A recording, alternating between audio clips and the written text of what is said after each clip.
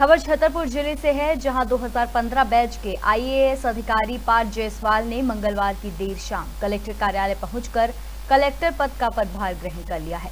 बता दें कि पदभार ग्रहण करने के बाद उन्होंने वहाँ उपस्थित अधिकारियों से परिचय प्राप्त किया।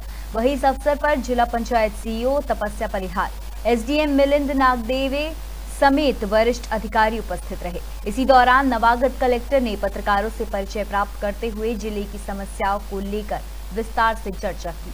वही इस मौके पर उन्होंने कहा कि शासन की योजनाओं का लाभ आम जनता को सीधे और समय सीमा में प्राप्त हो। इसके लिए हर संभव प्रयास करेंगे। आज छतरपुर ज़िले में मैंने कलेक्टर के तौर पर प्रभाव किया है और छतरपुर ज़िले के सभी पत्रकार साथियों से मेरी प्रेस कॉन्फ्रेंस हुई है। सभी ने छतरपुर ज़िले के जितने भी हमारे ज्वलंत मुद्दे हैं, जहाँ जहाँ पे कमियाँ हैं, कुछ इश्यूज़ हैं, कुछ डेवलपमेंटल प्रोजेक्ट्स में कुछ इश्यूज़ रेस करे हैं कहीं पे कुछ लापरवाहियों की कंप्लेंट्स भी आई हैं। इन सभी मुद्दों को आप लोगों ने ध्यान में लाया है, इन सबको नोट कर लिया गया है।